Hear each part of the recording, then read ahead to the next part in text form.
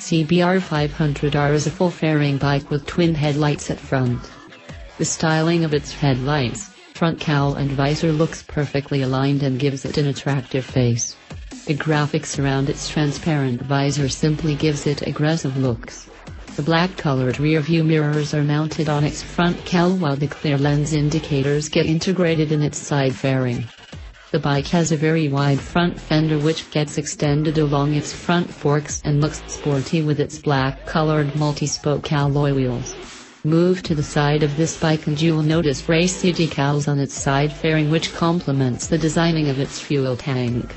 The black-colored engine, split seat and side panel also suits the color scheme on this bike. The integrated undercowl also goes well with the styling of its side fairing. The chrome finished upswept muffler and edgy rear cowl enhances the visual appearance of this bike.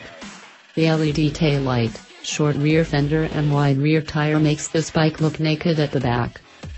The bike is quite enthusiastic from the very first move.